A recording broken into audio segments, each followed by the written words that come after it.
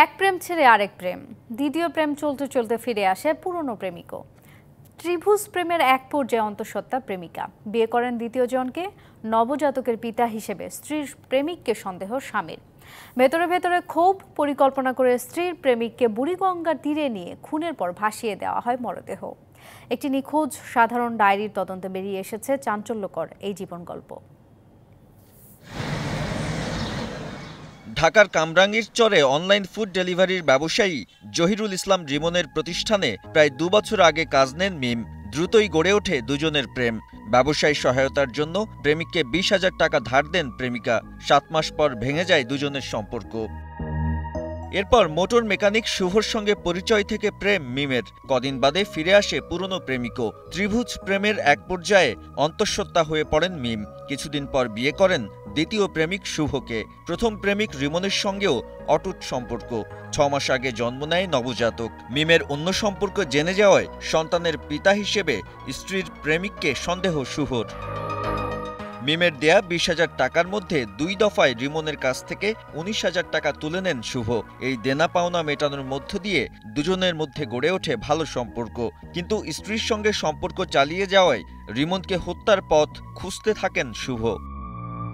এ মাসের সাত তারিখে কামরাঙ্গীর চর থেকে রিমনকে সিএনজি অটোরিকশায় তুলে কেরানীগঞ্জের আঁটি বাজারের দিকে রওনা দেন শুভ। পথে ইয়ামিন নামে আরেকজনকে তুলে নেন নিজের সুরক্ষার জন্য। তারপর তিনজন মিলে চলে যান বুড়িগঙ্গার তীরে। স্ত্রীর সঙ্গে সম্পর্ক নিয়ে রিমনের সঙ্গে কথা বলেন শুভ। ভুল স্বীকার করে ক্ষমা চান রিমন। তখনই কোমরে লুকিয়ে রাখা হাতুড়ি বের করে পিটিয়ে স্ত্রীর প্রেমিককে খুন করে মরদেহ নদীতে ভাসিয়ে দেন শুভ। চব্বিশ ঘন্টারও বেশি সময় পর শৈলমাছি ঘাটের কাছে ভেসে ওঠে মরদেহ। উদ্ধারের পর সাভার থানায় মামলা করে নৌ পুলিশ। উঠানোর পরও তার নাক দিয়ে মুখ দিয়ে রক্ত বেরোচ্ছে। অনেক জায়গায় আঘাত করা দেখা যাচ্ছে শরীরে। পরদিন কামরাঙ্গীরচর থানায় নিখোঁজ সাধারণ ডায়েরি করেন রিমনের স্বজন।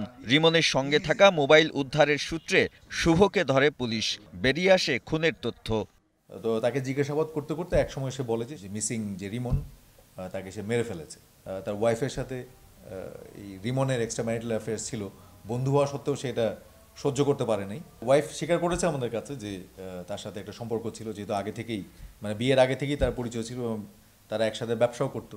খুনের ষোলো দিন পর শনাক্ত হন রিমন। জানতে পারি যে সাভারে খুনে মামলা রুজু হয়েছে যে মামলার ভিকটিমকে নদীতে পাওয়া গেছে। এবং আমরা খোঁজ নিয়ে জানতে পারি ডেড বডিটি সোরারদি হাসপাতালে মর্গে রাখা আছে। ভাই সহ অন্যান্য আত্মীয় স্বজনকে আমরা সোরারদি মেডিকেলে পাঠাই পাঠিয়ে দেওয়ার পরে তারা আইডেন্টিফাই করেন যে এটি যে মিসিং রিমন তারই ডেড বডি রিমন হত্যা মামলায় শুভ ছাড়া অন্য কেউ জড়িত আছে কিনা তা খতিয়ে দেখছে police. Nadim Mahmud DBC news Dhaka.